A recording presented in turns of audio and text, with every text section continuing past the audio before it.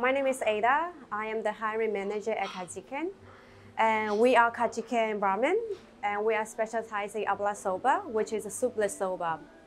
And our goal is to present the soupless soba to the society, let them try the new concept of the ramen. I have been using the POS system since August 18. So far, I feel like uh, the system is pretty efficiency.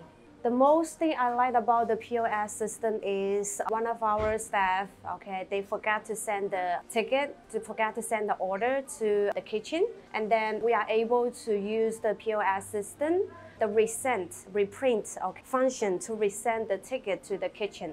I think the most uh, things I like the POS, uh, you know, from Chowbus the most. For the sales report, I can keep track, you know, from the first day of the month until the last day of the month. Uh, so I can keep track of the sales report, uh, which give me, uh, you know, a general idea of how much, you know, uh, or how, uh, what is the benefit, uh, what is the profits I have made for the entire month.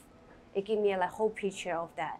what are the order, how many total order I have, you know, um, I got for um, entire month and how much tips you know for the um, server uh, they receive for the entire month. I can have like entire picture of the sales. So the system we use over there, it doesn't like give you uh, individual tips for individual server. The POS system, you know, provide like, individual tips for individual server. The server will know like how much they make per day. What is good about our POS system is that um, I can keep track of individuals' uh, service tip, which you know other system probably may not able to provide that function.